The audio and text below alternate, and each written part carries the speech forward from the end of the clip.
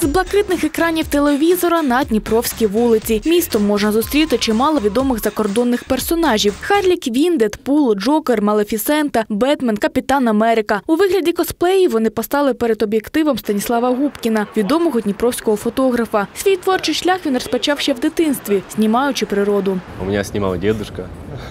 Вот, это мне тогда нравилось. И плюс э, у меня так э, с детства идет, что мы с родителями в лес выезжали, там снимали природу, снимали цветы, и с- такое вот, какие-то там что-то подфоткивали по чуть-чуть. Мне потом подарили первую пленочную камеру, от Олимпус, которая еще была полуавтомат. Вот, а потом как-то решил попробовать людей снимать. Далі нестримне бажання вчитися та підвищувати рівень. І ось вже понад сім років фотосправа не тільки хобі, а й спосіб заробітку. На первом месте для меня это стоит как хобби. Только после этого я уже считаю деньги. Потому что важно, чтобы ко мне приходили именно как к фотографу, а не к человеку, который, например, свободен в эту дату. Или к человеку, например, который стоит, стоит дешевле, чем какой-то другой фотограф. До фотографії Стас ставиться як до мистецтва. Привертають увагу його особливе бачення деталей, уява та неординарні зйомки. Але найбільший захват викликають косплеї. Ідея відзняти найперший з'явилася раптово під час перегляду фільму. Отряд самоубийц Харли Квин. Как только появилась Харли на экранах, мы такие друг на друга раз.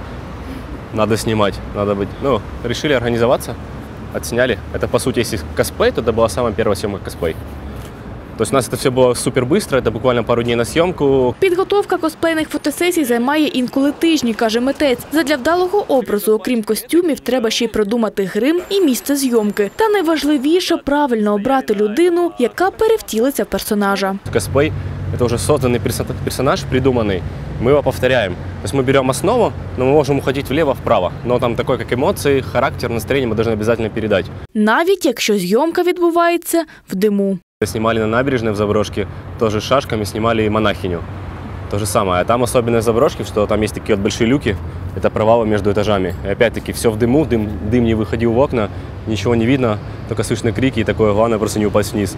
Автор каже, такі фотосесії, наче міні-історії, переносять учасників зйомки до сюжету фільму. Нещодавно фотограф створив серію хорор-знімків Діти кукурудзи за одноіменним твором Стівена Кінга. Костюми для фотосесій готували кілька тижнів, а на зйомку пішло кілька годин. Творчій команді пощастило застати на полі фермерів. Ті не відмовилися стати частиною проєкту. Дар'я Пшенична, Денис Крикус, Open телеканал відкритий.